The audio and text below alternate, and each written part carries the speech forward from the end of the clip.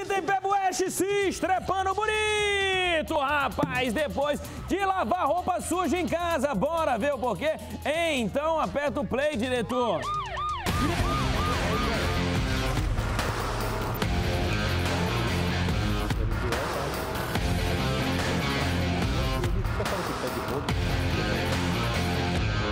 Foi durante o patrulhamento da equipe do GTOP 34, aqui do 14º Batalhão de Polícia Militar de Planaltina, que essa arma foi apreendida. E tudo aconteceu quando os policiais viram no conjunto um quadra 1 do Jardim Roriz, três suspeitos, três rapazes conversando ali de frente a uma casa. Os três já são conhecidos, dois têm várias passagens pela polícia.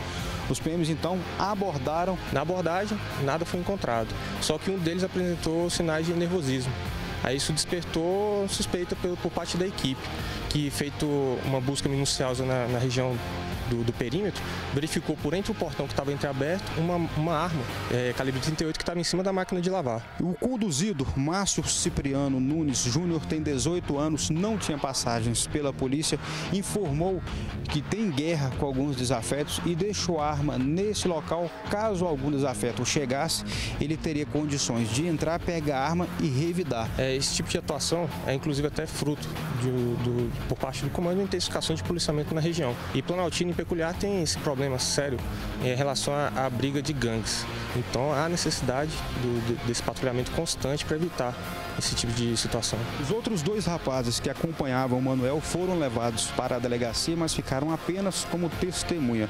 O Manuel informou que pagou R$ 2.500 por esse revólver teria comprado em Ceilândia e agora é menos uma arma nas ruas, arma que poderia ser utilizada em roubos, homicídios e outros crimes, né? Não, sem dúvida. Tanto que isso reflete no, nas estatísticas nossas que hoje estamos, somos o terceiro em, em apreensão de arma no DF, terceiro batalhão em apreensão de arma. DF Alerta é muito mais conteúdo.